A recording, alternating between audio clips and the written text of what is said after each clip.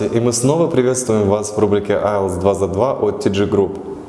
Сегодня мы поговорим о listening section и более подробно о том, какие вопросы задаются обычно на listening section. Я уже ранее говорил о том, что на listening section есть четыре секции, подсекции, скажем так.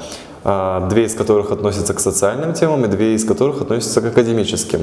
Но сегодня мы более подробно разберем, какие вопросы бывают по всем секциям. Опять-таки, в IELTS всего бывает 7 видов вопросов. Первый вид – это multiple choice question. А, судя по названию, можно спокойно сказать, что multiple choice, то есть из нескольких видов нам нужно выбрать один. Но это недалеко так просто, так как во многих случаях студенты просто не знают, какой, какой вариант ответа надо выбирать. Соответственно, ничего кроме данного варианта вы дописывать не можете в своем answer sheet. То есть, если вам задан какой-либо вопрос и имеются четыре ответа, вы должны выбрать один ответ, который потом и укажете в своем answer sheet буквы, которые ассоциируются с этим ответом. Сложность здесь заключается в том, что, опять-таки, многие студенты не знают, как делать такие задания, именно потому что они считают, что что-либо надо дописать, либо что-либо не дописано. В таком случае, если вы не знаете, не знаете, как справиться с таким заданием, просто берите от противного. То есть зачеркивайте все ответы, которые вы считаете исконно неправильными. Таким образом, вы оставите наиболее правильный ответ по вашему мнению. Второй вариант вопроса – это short answer question. Опять-таки, судя по названию, мы можем сказать, что мы должны вставить в какой-либо э, ответ, то есть в какой-либо gap, короткий ответ. Этот короткий ответ должен состоять как раз-таки из той информации, которую вы услышали. А также очень часто в инструкции, то есть в дисклеймере к данному заданию, бывает такое, что у вас спрашивается написать именно write what you heard. То есть вы должны написать слово в слово. Если в аудиозаписи вы услышите, к примеру, kids should be accompanied by adults, вы не можете ни в коем случае записать в своем ответе kids shouldn't be without accompanying adult.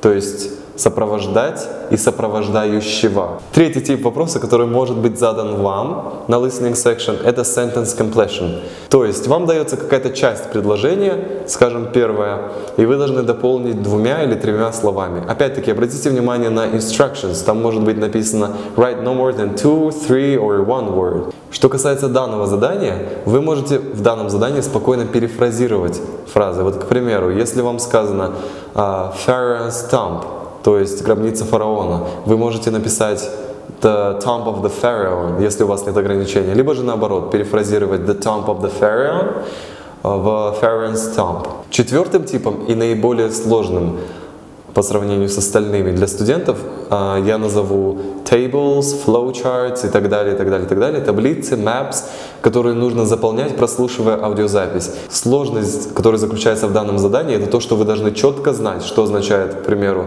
а, on the right или turn on the left, или right down the road. Опять-таки, если вы свободно владеете данными словами и имеете хороший опыт в ориентации в какой-либо местности, то данные задания будут вам в принципе легки, за исключением table chart. В table chart все в принципе идет стабильно. То есть э, все вопросы появляются по sequence, по какой-либо следовательности. Опять-таки, первое задание – все в первой полосе, второе задание – все во второй полосе. Может быть такое, что в разных значениях у вас будут пропущены разные э, ячейки, которые вы должны будете заполнять. Но это все будет проделываться именно в последовательности, что в принципе не должно вызвать у вас затруднений. Следующим заданием, которое может быть вам задано в listening section, может быть labeling the diagram or labeling the cells in diagram.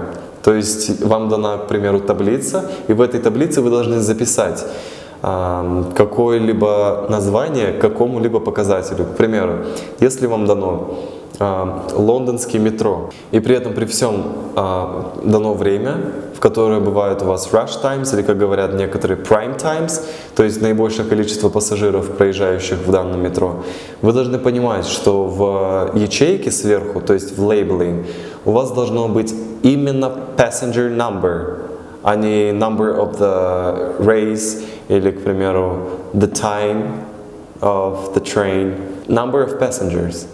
И последним, но не наименее важным вопросом, который вам может попасться на listening section, будет matching.